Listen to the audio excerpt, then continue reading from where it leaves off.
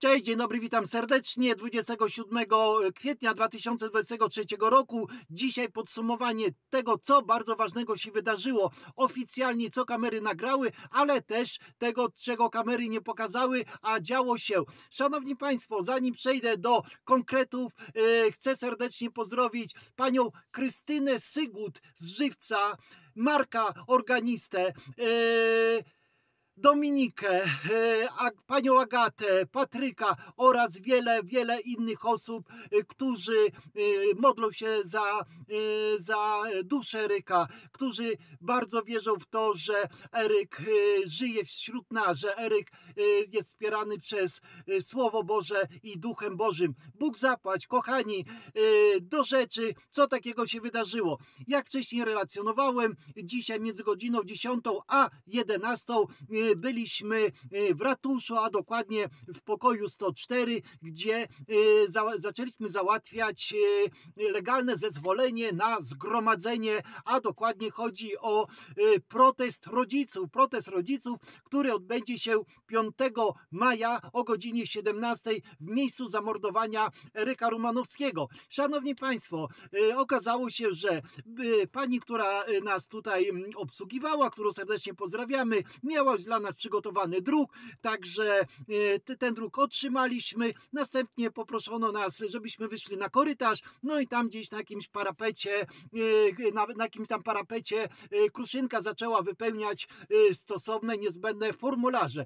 Ok, jak to było, możecie zobaczyć na nagraniach. Co dalej takiego ciekawego się działo, a działo się bardzo dużo. Przeszliśmy następnie do, biur, do biura obsługi klienta, tego z samego ratusza, no i właśnie w tym ratuszu, w biurze tam z, z, zostały złożone stosowne dokumenty. Y, Kruszynka te dokumenty składała jako osoba organizująca protest rodziców. Szanowni Państwo, y, w dniu jutrzejszym, to jest 28 y, kwietnia, mija dokładnie drugi miesiąc od zamordowania Ryka Romanowskiego. Ja tylko powiem, Szanowni Państwo, po 50 dniach dwoje współdziałowców, dwoje morderców z czterech osób zostało już wypuszczonych do domu. I dlatego jest organizowany marsz protestacyjny, marsz y, protestacyjny rodziców, na który z serca serdecznie Was zapraszamy. Szanowni Państwo, Wasza obecność jest y, bardzo potrzebna. Proszę, przyjdźcie, proszę w imieniu swoim, jak i w imieniu Kruszynki, która E,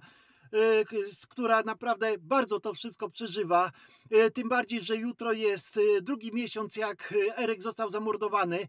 Proszę, przyjdźcie 5 maja o godzinie 17 w miejsce zamordowania Eryka. Przejdziemy tylko 410 metrów na plac koło ratusza i tam, tam, tam zakończymy ten nasz marsz taki protestacyjny rodziców. Szanowni Państwo, E, z Kruszynko, co się dzieje, czego kamery nie pokazują, a co się dzieje. Jest bardzo źle. Wytłumaczę dlaczego.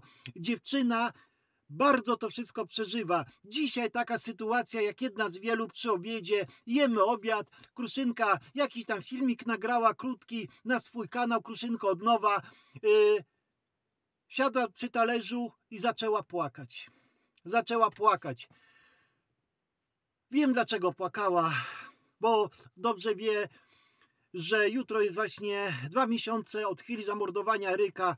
I jeszcze dramatem wielkim jest to, że yy, mordercy zostali wypuszczeni na wolność po 50 dniach, nawet nie po całych, nie, nie po dwóch miesiącach.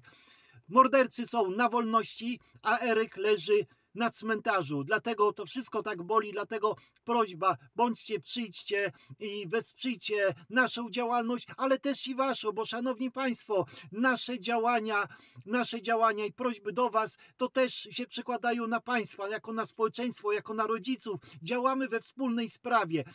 Proszę, przyjdziemy grzecznie, spokojnie, pokojowo, kulturalnie powiemy, że my się nie zgadzamy na to, żeby y, tutaj wymiar sprawiedliwości, począwszy od policji, prokuratury i sądy, robił tak, że suma summarum y, są osoby wypuszczane, proszę Państwa. Dramat jest wielki, dramat jest wielki. Jak wielki dramat, to tylko zrozumie y, chyba matka, która straciła dziecko. Która straciła dziecko. Ja tylko przypomnę, jesteśmy w posiadaniu dokumentów, proszę Państwa, jesteśmy w posiadaniu dokumentów, przepraszam na chwilę. Proszę Państwa, żeby, żeby nie być gołosłownym, to jest jeden z dokumentów na oko. Ja innym razem pokażę, będziecie czytać to wszystko. To jest jeden z dokumentów, który pokazuje, że jak sprawcy, jak mordercy, którzy zamordowali Eryka, powolutku znikają jak kamfora. Dokładnie. Dziewczyna, która zorganizowała, zapłaciła po 50 zł i nagrywała to wszystko, y, została wypuszczona na, wol, y, na, y, na wolność, jest w domku. Następnie chłopak, jeden z nich też został wypuszczony po 50 dniach. Trzeciego, pupca, to już, to już jest cicho sza. Tu już o tym człowieku się nawet nie mówi w dokumentach. A, a Gnypowi jest postawiony, proszę posłuchać, cytat. Yy, on jest podejrzany. proszę Państwa, żeby nie być gołosłownym, proszę zobaczyć. Tak to wygląda. Będę pokazywał, omawiał dokumenty. Przepraszam za mój śmiech, ale to jest szokujące. Proszę Państwa, sytuacja Eryka jasno pokazuje, jest zielonym światłem dla morderców.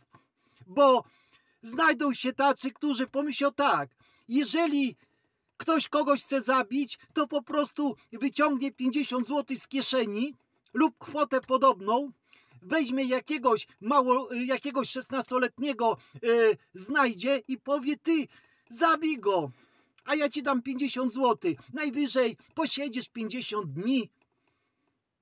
Proszę Państwa, obecny stan rzeczy jasno zachęca yy, innych do z, z napadania, zabijania, mordowania, kopania, znęcania się, jak sadyści Eryka mordowali, jak sadyści. Trzy i pół minutowe jest nagranie, jak Eryka mordowano. Trzy i pół minutowe. Proszę Państwa, dokumenty z sekcji zwłok, jak odebraliśmy z prokuratury, a są to dokumenty wierzytelne, my je upublikujemy. Każdy sobie będzie mógł to przeczytać, zobaczyć, cofnąć obejrzeć ile zechce razy.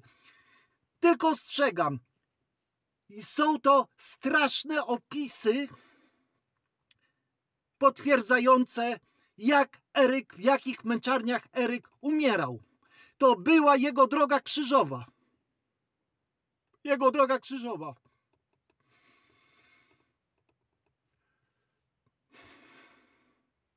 a sprawcy po 50, nie, po 50 dniach wychodzą. O tak sobie, free on the bird, wolnie jak ptaki. A co? Proszę Państwa, absurd. Pokażemy, będziemy pokazywać, upubliczniać, edukować społeczeństwo, jak to wyglądają mechanizmy działań. Proszę Państwa, mało tego.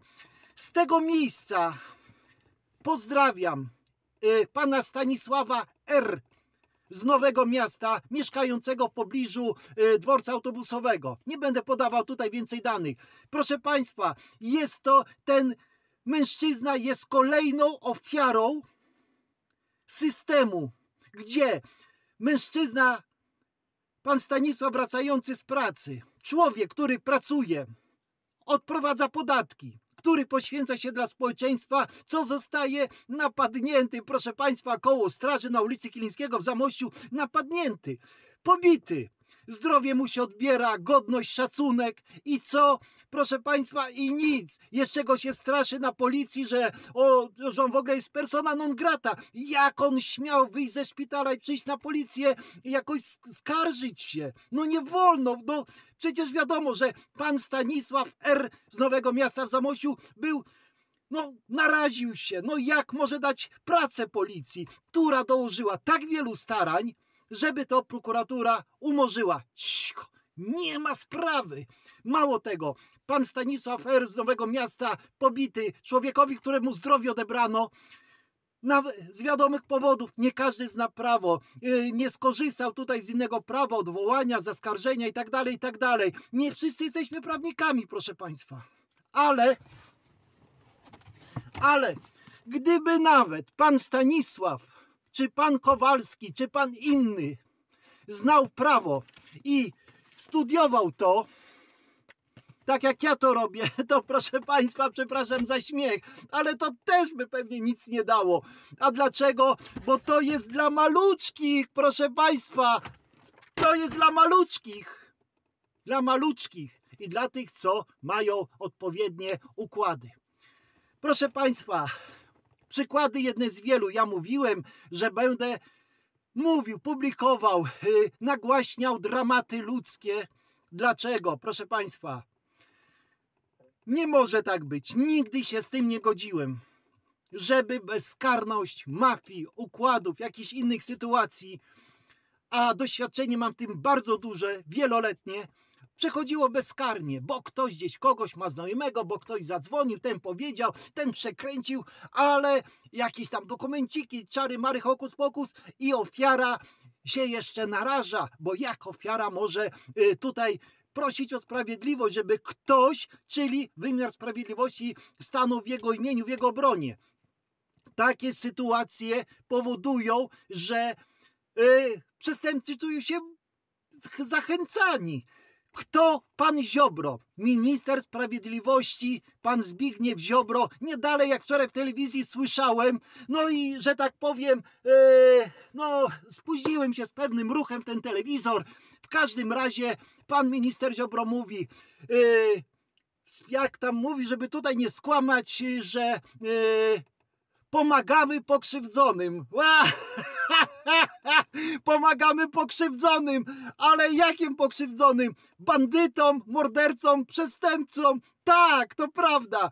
A takim przykładem jest pomoc pokrzywdzonym tym, którzy Ryka zamordowali. Przecież oni są pokrzywdzeni. No jak ktoś mógł śmiał w ogóle ich pozamykać, zapuszkować? Co prawda na 50 dni, ale jak?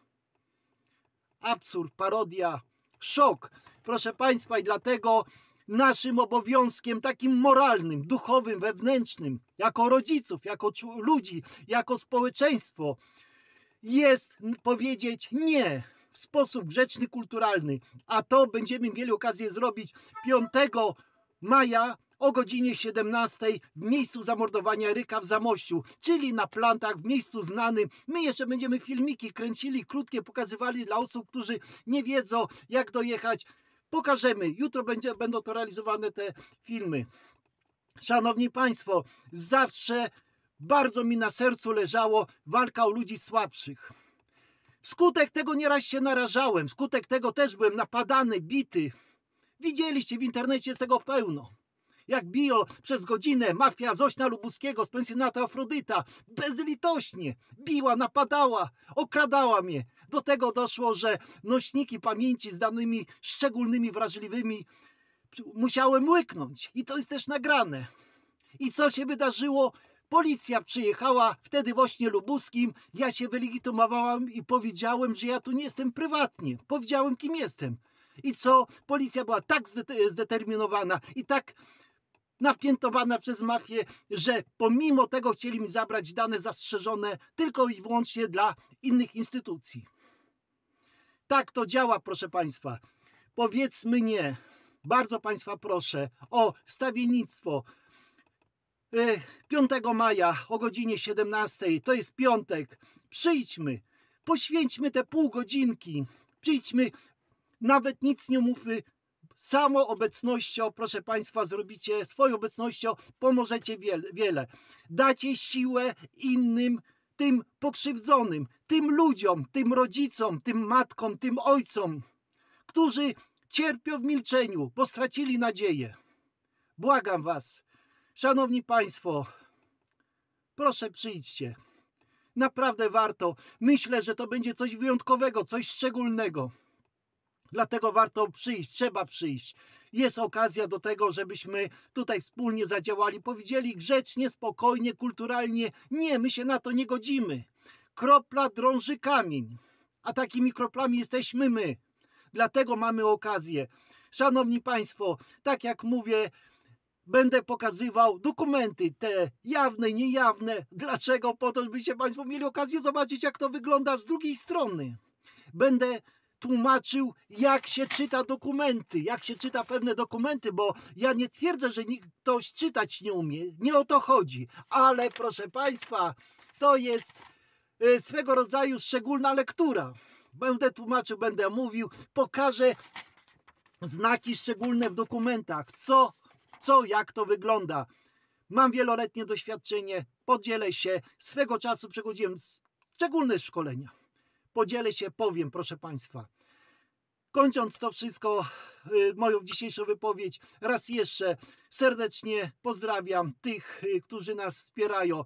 Kochani, Wasze, wasze modlitwy, wasza miłość, wasza pozytywna energia czyni cuda. My to z Kruszynką czujemy. Dzięki, dzięki temu, dzięki Wam, dzięki ludziom dobrej woli mamy siłę do działania. Chociaż Kruszynce tego coraz bardziej brakuje, widzę zmiany u tej kobiety, u tej dziewczyny. Proszę Państwa, bywają chwile, że się o nią bardzo martwię, żeby nie nie doszło do tego, żeby nie przeszła tej niewidzialnej takiej granicy emocjonalnej. Ja tutaj nie będę rozwijał tego tematu. Ludzie, yy, szanowni internaci, sami się domyślicie, co jej może grozić.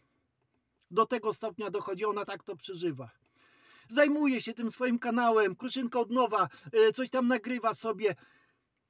To dobrze, tak, to ja ją do tego zachęcam żeby filmowała jakieś pszczółki, jakieś trawy, jakieś kwiatki. Filmuj, zajmij czymś głowę i nie płacz po kątach. Nie płacz po kątach. Walcz o Eryka. Proszę Was Państwo o wsparcie.